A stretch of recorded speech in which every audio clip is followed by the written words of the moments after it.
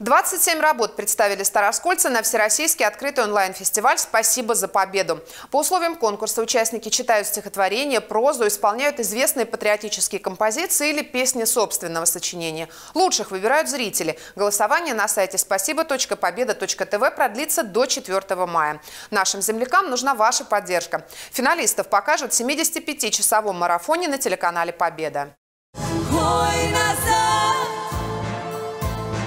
Участницы вокального ансамбля «Акра» на самоизоляции уже полтора месяца и очень скучают по сцене. Вот и решили принять участие в интернет-конкурсе. Сняли видео и отправили. В преддверии главного праздника весны телеканал «Победа» проводит открытый онлайн-фестиваль «Спасибо за победу». Нам очень не хватает сцены, нам очень не хватает этого отклика зрителей, энергетики.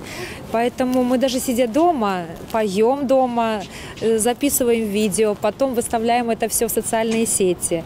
Дистанционные конкурсы тоже это один из видов э, поучаствовать в таких мероприятиях, показать себя.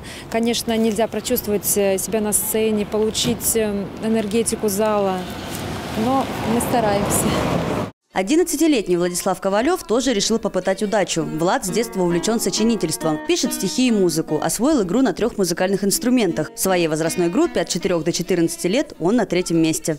Конечно, я горжусь своим сыном, я горжусь э, им, вне зависимости от того, в каких конкурсах он принимает участие. Он старается и учиться везде хорошо, и старается участвовать ну, во многих видах деятельности, увлекается и ну, с удовольствием делает практически все, чем он занимается. Ну, что не с удовольствием, то э, с усилием. Мы, конечно, очень хотели бы выйти в финал, очень хотели бы выйти в финал, потому что в финал выйдут всего 50 участников из всех категорий номинаций.